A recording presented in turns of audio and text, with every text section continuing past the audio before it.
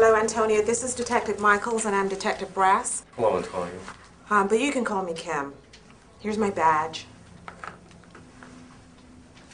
We want to talk to you about what happened tonight. Do you mind if I sit next to you? Okay?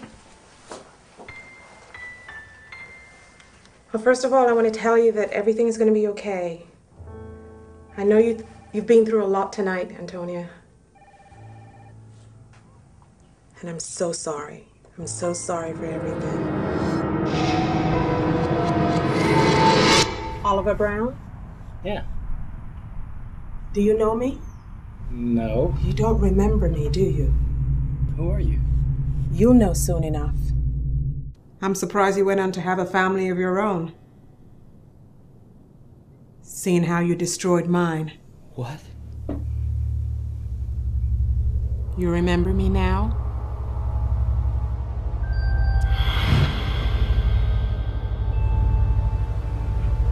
Guess I'm all grown up, right? You raped me. Right beside my dying mother.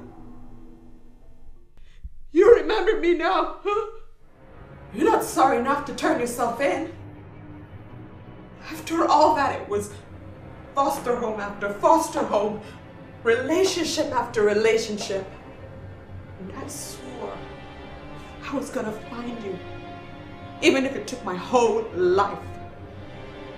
You took my life away from me, and now I'm here to take it back.